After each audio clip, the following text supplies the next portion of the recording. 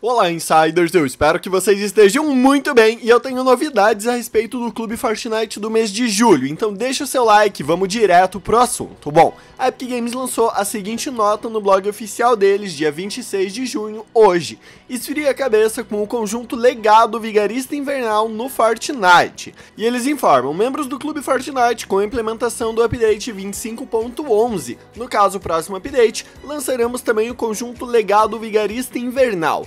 Esse novo conjunto legado traz o desbloqueio progressivo de itens exclusivos para membros do clube, que celebram a sua assinatura contínua no clube Fortnite. O último item desbloqueado é o traje Volpes, incorpore o líder dos vigaristas invernais e suplante a ordem.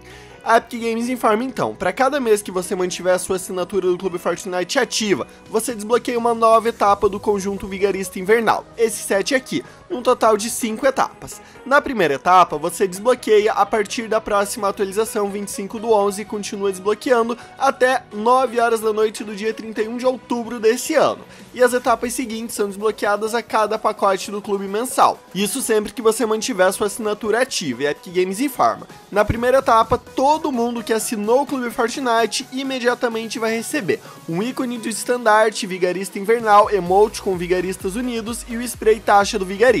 Na segunda etapa, você desbloqueia a música do lobby, som da raposa e envelopamento por astúcia.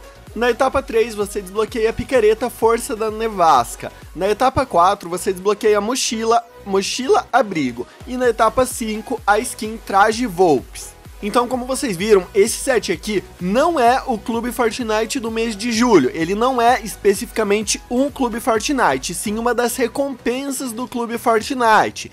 E a Epic Games informa que se você não tiver assinatura do clube, todos que assinarem a qualquer momento a partir do próximo update, até as 9 da noite do dia 31 de outubro, também vai desbloquear a primeira etapa do conjunto, e as próximas conforme você mantém a sua assinatura ativa. E a Epic Games fez também uma listinha aqui de perguntas frequentes, por exemplo, por quanto tempo a etapa 1 do conjunto fica disponível? E eles informam até o dia 31 de outubro, e os jogadores que assinarem o clube a qualquer momento entre o próximo update de 31 de outubro, também desbloqueia automaticamente a etapa 1 do conjunto. Se você pausar a sua assinatura, não tem problema. Tudo que você desbloqueou vai continuar desbloqueado e se você comprar o passe novamente, você continua a progredir de onde parou. Ou seja, a cada mês de assinatura renovada, você consegue a segunda etapa, a terceira e assim por diante. E da mesma forma que as outras recompensas que a gente já recebeu nesse mesmo estilo pela Epic Games, caso você não se lembre, são essas daqui que vocês veem na tela, você não tem um prazo máximo para fazer o desbloqueio de todas as etapas. Basta você ter começado a primeira etapa para você ter direito a desbloquear todas as próximas, assim como a mochila e a picareta que a gente já recebeu no passado como recompensa.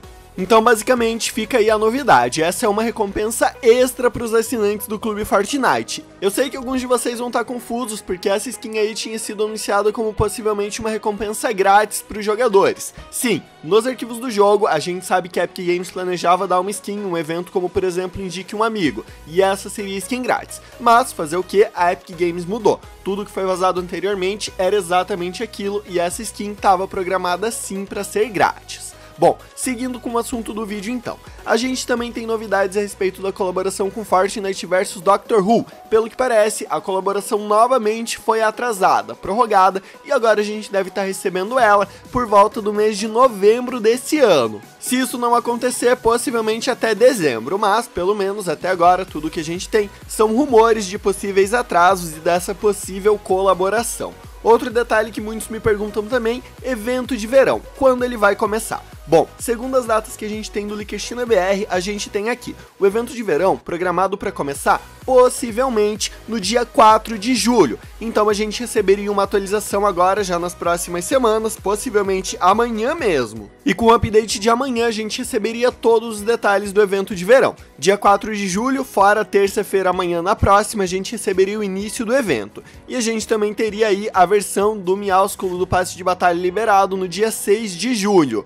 Possivelmente então, essas são as datas que a gente vai ter. Lembrando, até a hora da gravação desse vídeo, a Epic Games não anunciou nenhum update para amanhã, mas dê uma olhadinha no comentário fixado desse vídeo e também na descrição, porque assim que a Epic Games anunciar, eu vou confirmar para vocês aqui embaixo. Lembrando, a atualização geralmente acontece 5 horas da manhã, servidores offline e online novamente por volta das 7 ou 8 horas da manhã. E agora um assunto um pouco polêmico, vocês jogam muito modo criativo? Se vocês repararem, a Epic Games mostra a quantidade de jogadores ativos, participando dos modos ali que a gente tem. Por exemplo, na hora desse print aqui, tinham 151 mil jogadores jogando os ranqueados do Fortnite, 38 mil jogando as ranqueadas sem construção, 370 mil jogadores no Battle Royale, e aí a gente tem, no modo criativo em geral, 25 mil jogadores, modo Salve Mundo, 29 mil jogadores, e um mapa específico indicado pela própria Epic Games, chamado Only Up Fortnite, 46 mil jogadores jogando aquele modo especificamente.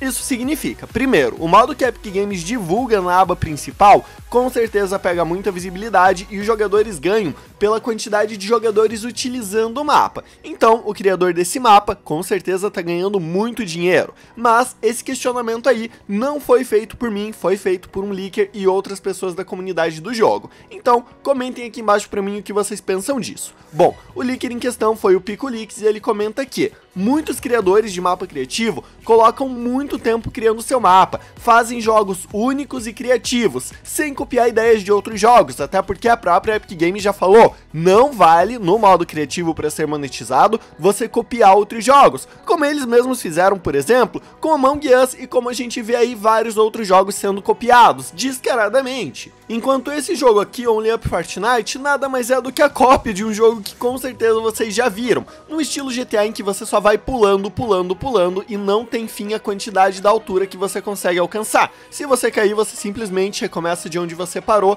da última vez que você caiu ou tocou um objeto. Então, basicamente, isso significa o quê? Um jogador simplesmente empilhou um monte de objeto, de uma forma muito básica, bem simples. E o principal de tudo, copiando a ideia de outro jogo. E ainda assim a própria Epic Games faz a divulgação massiva desse mapa. E ele ganha muito dinheiro, enquanto isso outros criadores de conteúdo criam uma história legal, fazem um modo de jogo super original, sem nenhuma cópia, com muitos detalhes e não são nem indicados pela Epic Games. Isso daí parece ter chateado muita gente. Se a gente vê mesmo, olhem só, né? Só nas ranqueadas sem construção 38 mil jogadores e só nesse modo 46 mil. Detalhe, isso mostra no servidor inteiro da região. Esse print possivelmente é de um dos servidores lá dos Estados Unidos, mas ainda assim é muita coisa. Comenta aqui embaixo pra mim o que vocês acham disso. Tá certo a Epic Games fazer a indicação de um mapa simples e mal feito, e além disso sendo cópia de outro jogo, enquanto criadores de conteúdo criam mapas originais sem cópia nenhuma e não são nem um pouco reconhecidos, afinal esse mapa aí com certeza tá dando muito dinheiro pro criador, que só copiou a ideia de algum outro jogo e nem colocou muito esforço no mapa. Bom, essas são as últimas novidades e informações, se você gostou desse vídeo já sabe, deixa o like, se inscreve no canal e clica no sininho para ativar as notificações. Muito obrigado por ter assistido assistido e até a próxima!